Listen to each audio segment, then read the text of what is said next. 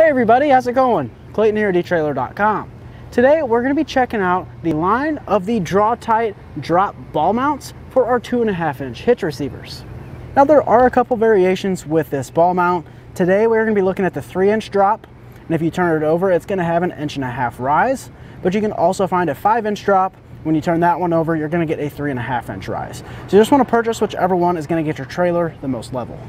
And as far as our weight capacities are concerned, our ball mount is going to be rated for 18,000 pounds of towing and 2,000 pounds of tongue weight rating. Now you do want to keep in mind, the ball mount is not going to come with an actual ball, but you can find those here at eTrailer.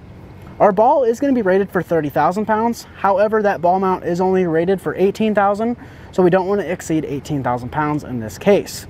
Now you do want to keep in mind, you need to check with your owner's manual of your truck and make sure that your truck is capable of towing at these capacities. And if there is a difference, you always want to go with the lowest number between the two.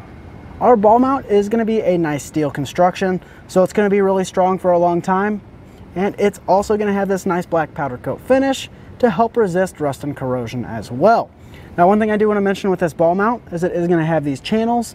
You might be wondering what those are for. That's just going to add some extra strength versus it just being an open ball mount like the majority of the ones out on the market. Now if we take a look at the hitch pin, this is just going to take a standard 5 8 pin. In this case we're using a locking pin. That's always good because it's going to help protect our investment. You can either find a locking pin or a regular pin here at eTrailer. This ball mount is going to be really good for you guys that are pulling the same trailer or a very similar trailer all the time. But if you are switching up trailers, maybe you're using your truck for work, I suggest picking up an adjustable ball mount. We have plenty of options available here at eTrailer.